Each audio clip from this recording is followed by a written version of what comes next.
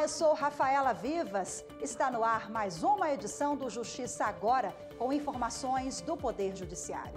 Uma ação do Ministério Público Federal quer obrigar o município de Uberlândia, em Minas Gerais, a credenciar e contratar no prazo de 10 dias profissionais de otorrinolaringologia.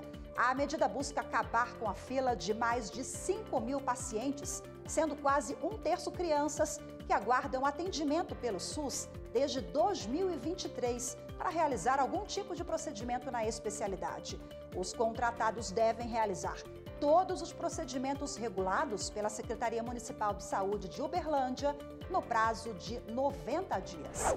E a terceira turma do Tribunal Superior do Trabalho rejeitou o exame de um recurso do Fluminense Futebol Clube do Rio de Janeiro contra o reconhecimento da rescisão do contrato do zagueiro Henrique Bus por causa do atraso de 11 meses no recolhimento do FGTS. Para o TST, o atraso persistente no cumprimento das obrigações trabalhistas justifica a chamada rescisão indireta ou justa causa do empregador, em que a empresa tem de pagar todas as parcelas que seriam devidas no caso de dispensa imotivada. O Justiça Agora fica por aqui. Continue com a nossa programação.